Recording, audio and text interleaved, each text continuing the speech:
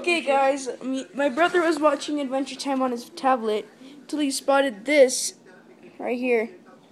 Seems as if it's a naked woman with, um, I don't know, a towel or something over it, but No, the it's a naked. It's a full picture of a naked woman. It's just that part of the picture where it shows the um, private parts was ripped.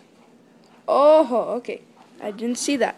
So Well, if that wasn't ripped, if that wasn't ripped, it would be a full picture of a naked woman. Yes, so that's one of the subliminals that me my that my brother found, not me, um, found on um, uh, Adventure Time. That little buddy down there. Yeah. I don't know who the heck is that, but that's a subliminal. And if you can leave in the comments if you think it is, do do so, please.